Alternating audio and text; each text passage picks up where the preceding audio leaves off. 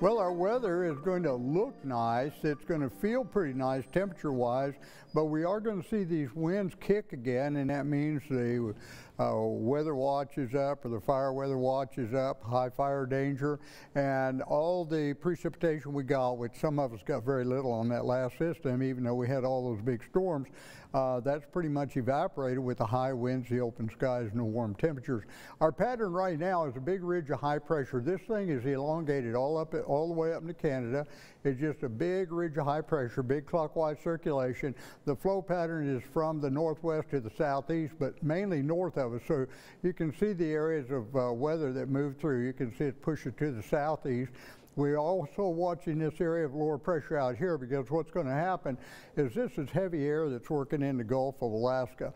When that goes over the top of that ridge, and that ridge is kind of narrow at the top, because of the weight of it, it'll go over the top and that ridge will be suppressed a little bit southward and southwest, so then the track will be more down toward Texas.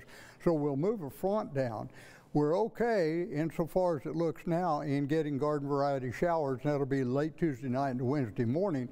But if we pick up one of these little areas of low pressure underneath that ridge and bring it in toward Texas, you not only enhance the Pacific moisture, you also enhance the Gulf flow, warm moist air, and you get a more volatile atmosphere. What creates the showers is the vertical velocity or upward motion, and around a low pressure area, the dynamics are counterclockwise and up. So you put a little low into play and then you've got a potential for stronger storms. So we'll be keeping an eye on that. In the meantime, under the ridge, everything's very quiet for us. We haven't seen much in the way of cloud cover. Temperatures right now, they're coming down. They're in the 60s few 70s out to the southeast of us. The lows tonight will be in the 40s and 50s. Not that cool of a night, a little bit of a chill. Winds are trying to shift. They're coming in from the east and southeast, and they're generally light. So we'll start 48, go 87. The winds kick, so we're windy, warm and windy, warm and windy. Clouds come in late night to showers.